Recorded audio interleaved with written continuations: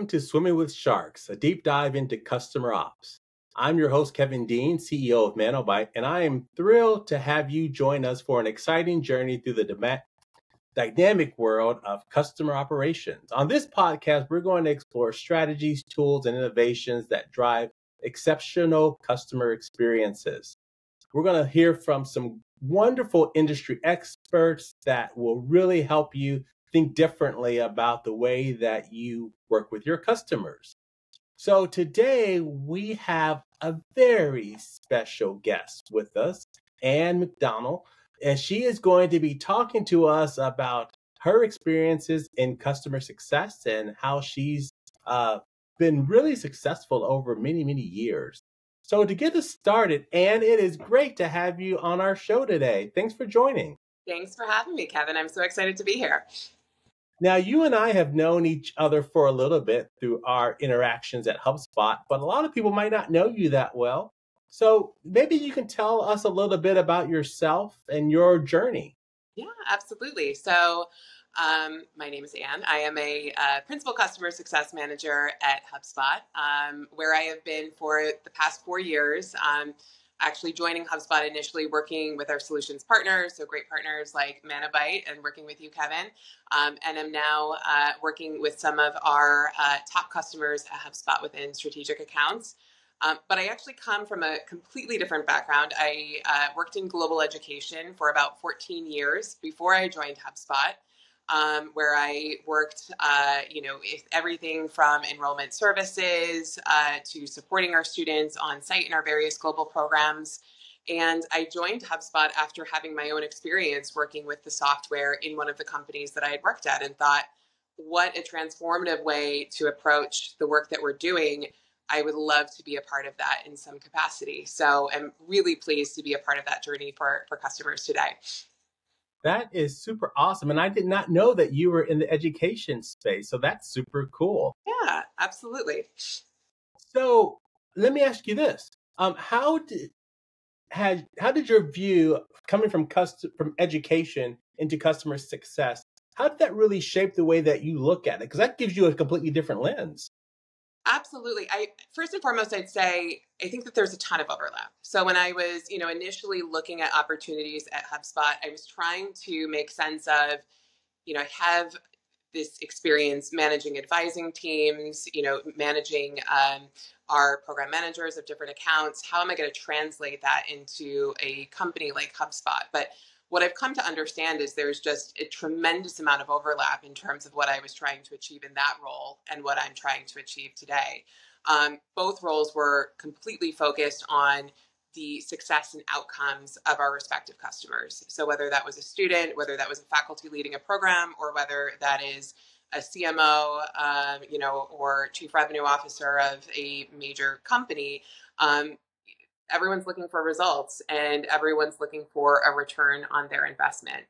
Um, and then secondary to that, I would say understanding that folks learn differently um, and mm-hmm. making sure that you're paying attention to that and modifying your approach uh, to meet the needs of the different individuals that you're working with and paying attention to how some of those shifts and changes can occur relative to the way in which people receive information and you know how they're they're making sense of what you're sharing with them I love that thought about really thinking about how people receive information and really looking at it from the lens that everybody receives it differently and using that knowledge to be able to help customers succeed. I think that that is a key point. Thanks for sharing that with us. Absolutely.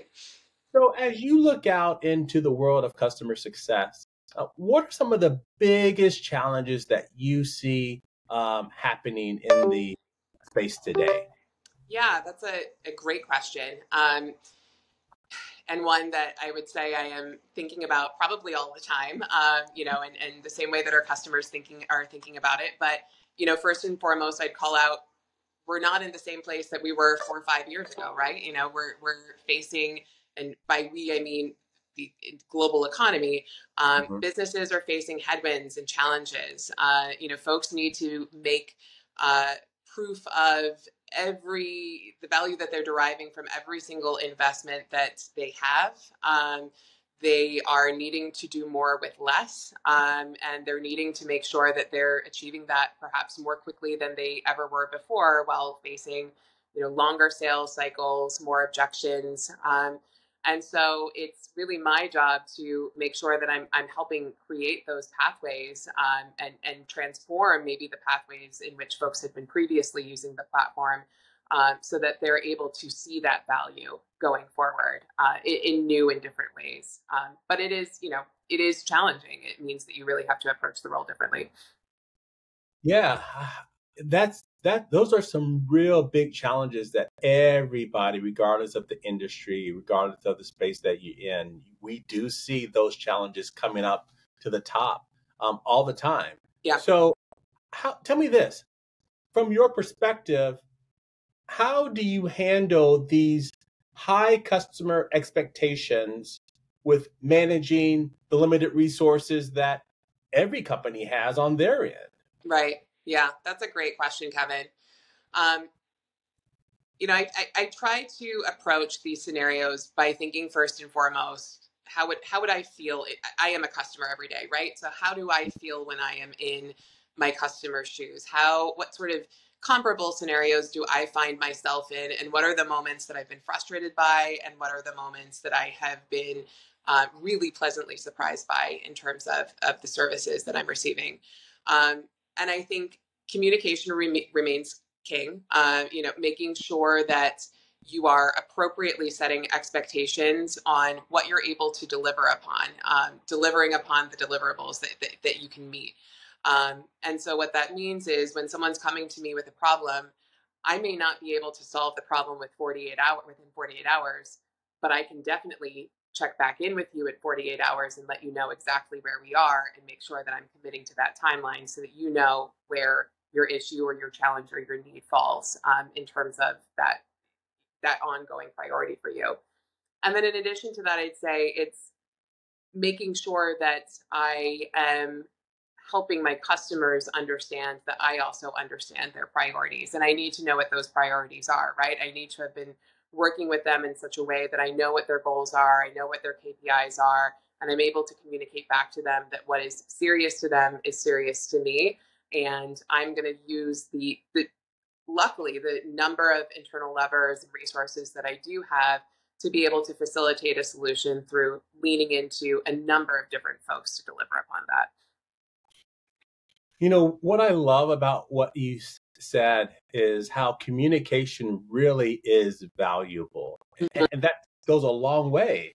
Um, maybe you can share with me how do you communicate bad news or how do you communicate that, you know, we maybe can't do exactly what you want us to do, or there may be an additional cost. How do you communicate that in a way that uh, really sinks in with the customer? Yeah, yeah, that's that is a great question, and you know, I think that is an area where throughout the lifetime of my career, I will never stop trying to improve upon that or finding ways in which I, you know, think to myself the next day, gosh, I could have done that differently. But my approach has always been lead with empathy, you know, and understand um, what you're coming to the table with, um, and and you, treat the situation with the empathy that it requires. Um, this was as much the case when delivering bad news to students as it is now working, you know, with folks in, in different situations and in different companies.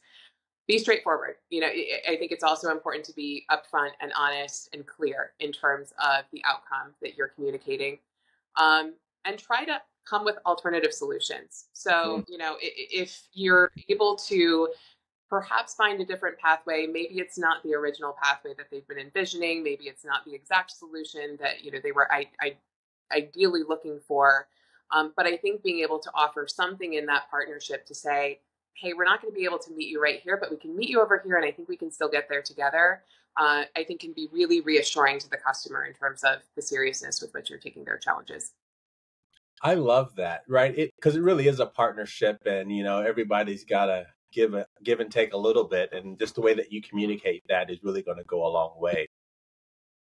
You know, and that I bleed orange. HubSpot is an awesome platform. We absolutely love it.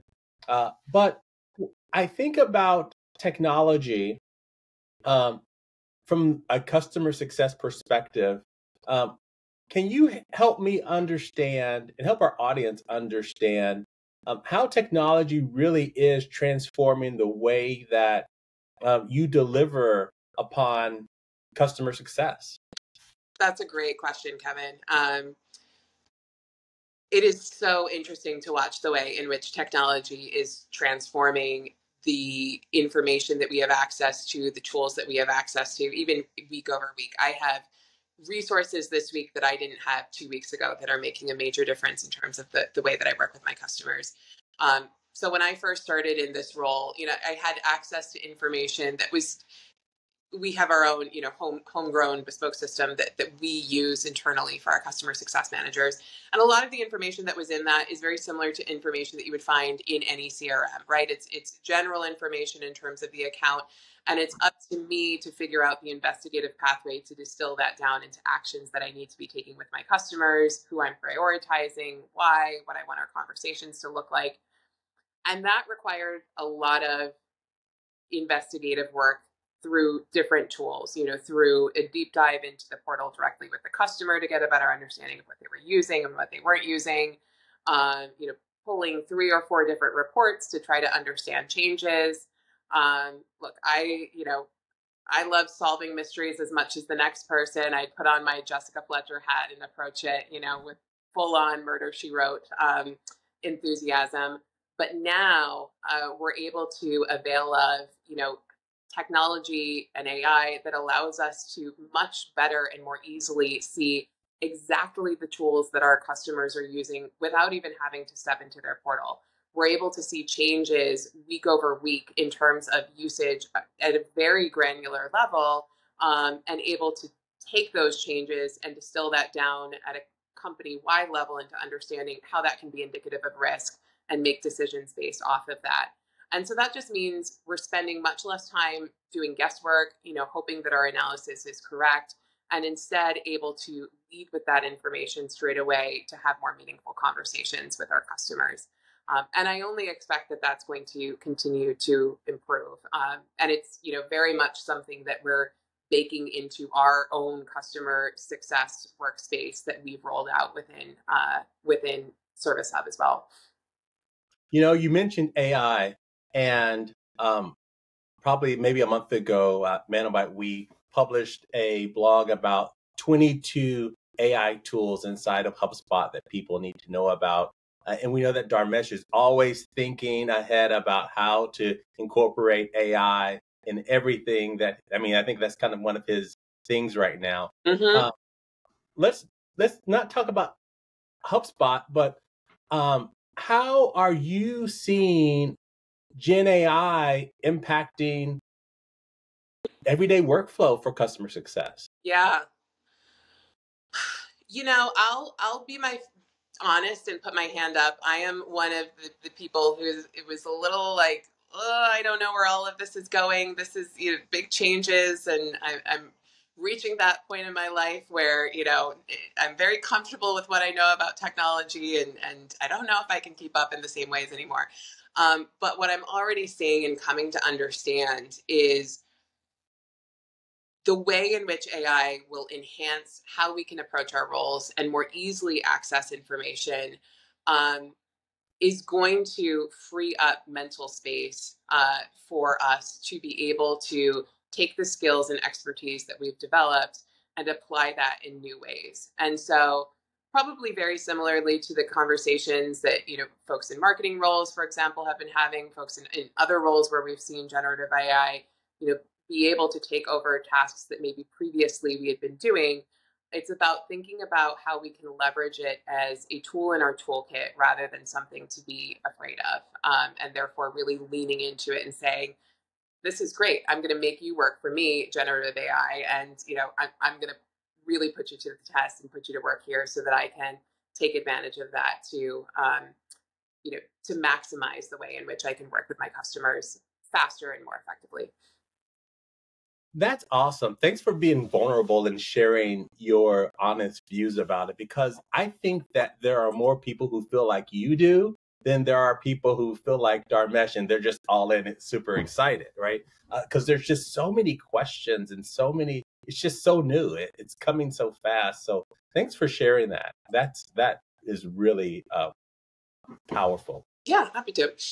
So, in your opinion, um, when you look at the landscape for customer success, um, what do you think is missing? What do you think um, companies need to be thinking about as they think about how they can better deliver on customer success?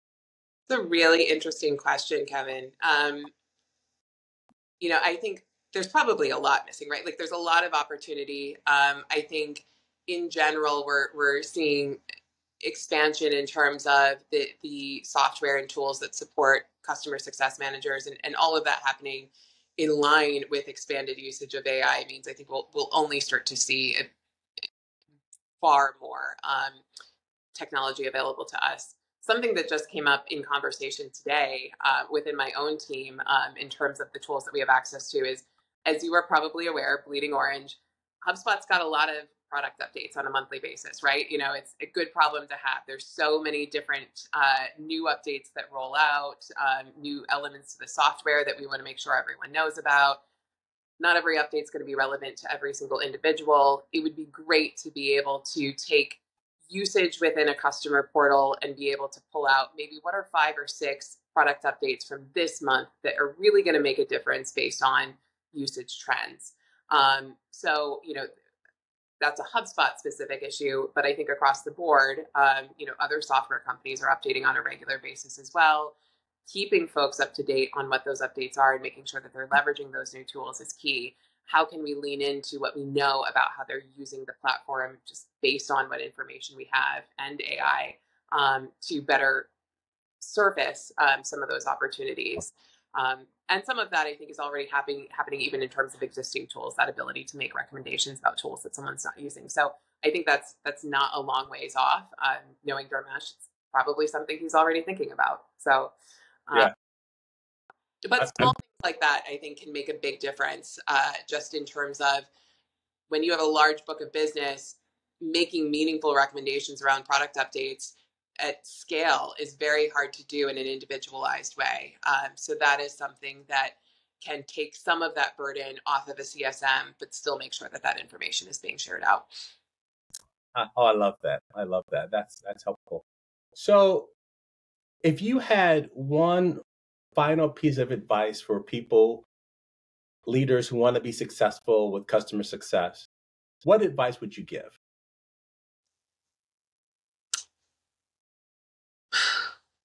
Me think about that for a bit. Um, that is a really interesting question. Um, you know, I think I think just continuing to listen to your teams and just as CSMs are having to be more and more nimble to respond to the ways in which customers' needs are changing and therefore equip ourselves with the new tools to be able to best serve our customers. That means that our leaders have to be equally moving at that speed. Um, so I think any leader within a customer success space is going to be watching that landscape um, and really trying to think three steps ahead in terms of how can I make sure that our teams are coming into the conversation with the tools that they need rather than having to play catch up for the ways in which the industry is changing uh, so that we can maintain really, really solid relationships and trust from our customers that is insightful. I think you're 100% correct, but it's a big task for leaders. It's a big task, yes. Yeah. It, it's a big task, especially right now. I think, wow, there's so much to keep up with, right? Um, you know, it, there's a lot. There's a lot to keep up with, but you're you're you're right. I think trying to stay up stay stay up to speed now is going to be much better than trying to play catch up later. Absolutely. Absolutely. And you're not going to get it right 100% of the time, but I think if we're constantly bubbling up those feedback loops, uh, it'll go a long way.